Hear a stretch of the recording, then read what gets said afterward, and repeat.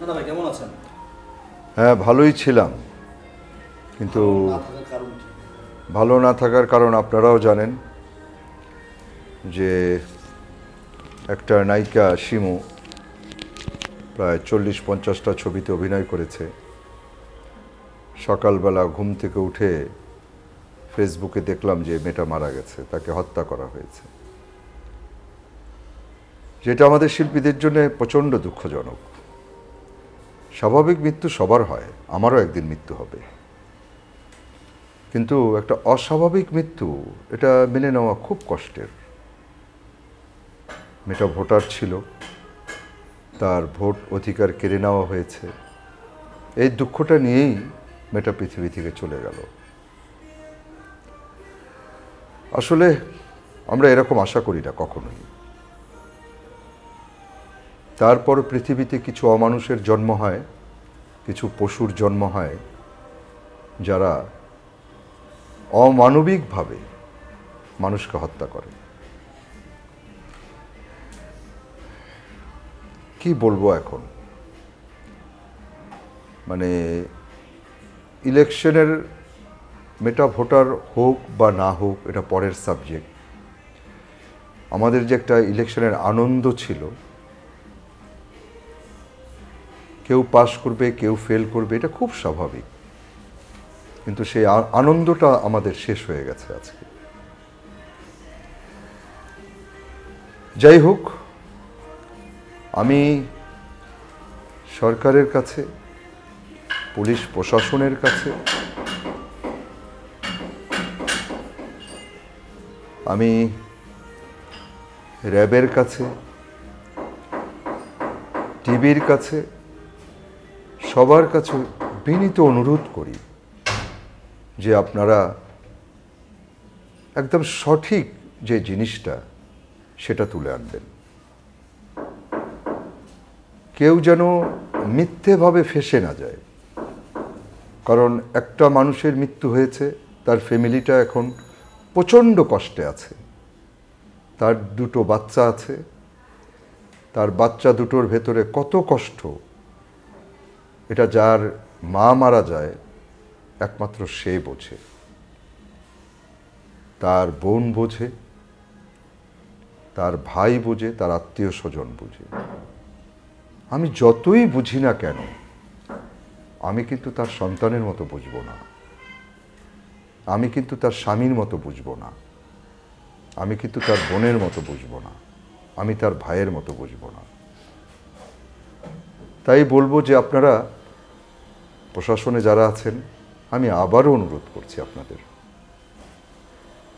যেন সঠিক জিনিসটাই আমরা জানতে পারি। এবং সঠিক বিচার তো হবেই, কারণ পৃথিবীতে কেউ মানুষ হত্যা করে, কেউ বেঁচে গেছে, এটা আমি শুনিনি। কারণ হিটলার মানুষ হত্যা করেছে, সেই বিচার কিন্তু এখনও চলছে। এবং অনেক হত্যার বিচার কিন্তু এখনও চলছে এবং বিচার হচ্ছেও। আর কি বলব এটা? মানে আসলে ভাষাও নেই আর কিছু বলার।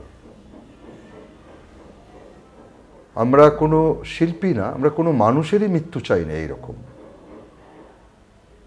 যে অস্বাভাবিক মৃত্যু হোক, কেউ তাকে মেরে ফেলুক স্বার্থের সংঘাতে একজন আরেকজনকে মেরে ফেলুক এই জিনিস আমরা কখনোই চাই না। ঝগড়া হতে পারে। হয়তো একটা মারামারিও হতে পারে। অনেক বড় শত্রুও হতে পারে। কিন্তু আমরা মানুষ তো।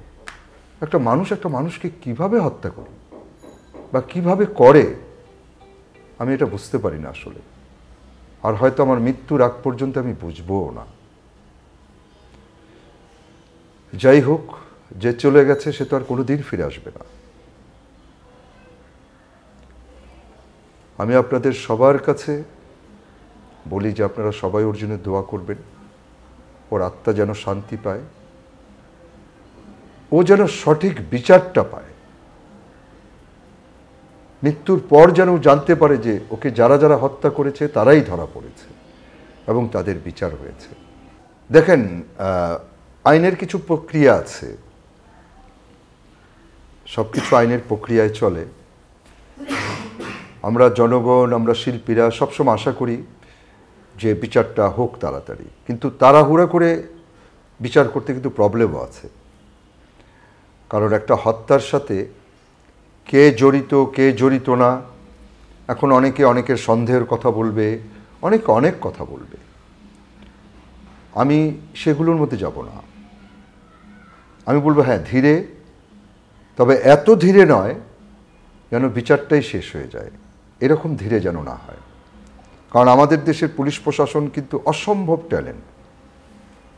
তাদের জানতে আমার মনে হয় না দুদিন থেকে তিন দিন লাগে। কারণ আমাদের পুলিশের নেটওয়ার্ক এখন অস্বাভাবিক ট্যালেন্ট আমি বলব। তো সেখানে ওনাদের বের করা কোনো ব্যাপারই না। কারণ মানুষ যখন কথা বলে, কথার ভেতর থেকে কিন্তু বের হয়ে আসে যে অপরাধটা কোথায় আছে বা কে অপরাধী। এটা কিন্তু বের হয়ে আসে। আমার মনে হয় তাড়াতাড়ি হবে। আর আমি তাড়াতাড়ি আশা করি। আমরা শিল্পীরা আশা করি। জনগণও তাই আশা করে।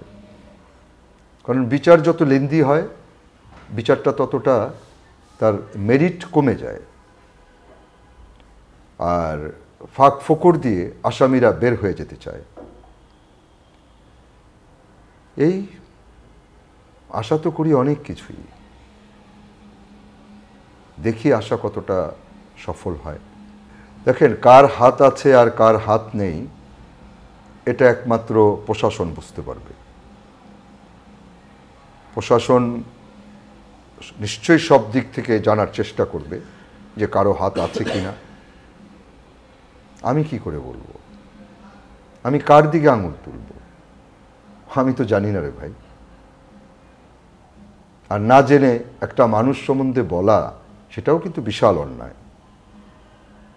কারণ একটা কথা আছে, মিথ্যে যদি হাজার মানুষের মধ্যে ছড়িয়ে দেওয়া হয়, তাহলে সেই মিথ্যেটা সত্য হয়ে যায়।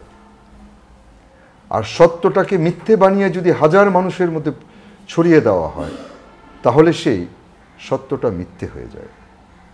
তাই আমি কাউকে সন্দেহের আঙুল তুলব না। এটা যাদের কাজ, প্রশাসনের কাজ, পুলিশের কাজ, ডিবির কাজ, এসবির কাজ, র্যাবের কাজ, এটা ওনারা করবেন। আমার আমার, আমরা দেখব। আমি আমার শিল্পীদের শুধু একটা কথাই বলব যে আপনারা বিনা কারণে কারও দিকে সন্দেহের আঙুল তুলবেন না। এটা ঠিক নয়। কারণ এটা, এটাও এক ধরনের অন্যায়। তো, প্রমাণ তো আপনারা পাবেন। কে হত্যা করেছে সেটা আপনারা জানতে পারবেন। আর কেউ যদি জড়িত থাকে, তাকেও জানতে পারবেন। আইনের হাত থেকে কেউ বাঁচতে পারবে না। এটা আমার বিশ্বাস। আমার প্রশাসনের কাছে বিশ্বাস। এই কথাটা আমি আবার বলছি যে আমি আমার পুলিশের প্রশাসনের কাছে বিশ্বাসী, আমি ডিবির কাছে বিশ্বাসী, আমি এসবির কাছে বিশ্বাসী, আমি র্যাবের সাথেও বিশ্বাসী এবং আমাদের বাংলাদেশের প্রশাসন অসম্ভব ট্যালেন্ট। কেউ বাঁচতে পারবে না অন্যায় করে। আর আমার অনুরোধ, যে অন্যায় করেনি, সে যেন বিনা কারণে ফেসেও না যায়, কষ্টও না করে। এটাও আপনারা দয়া করে একটু দেখবেন।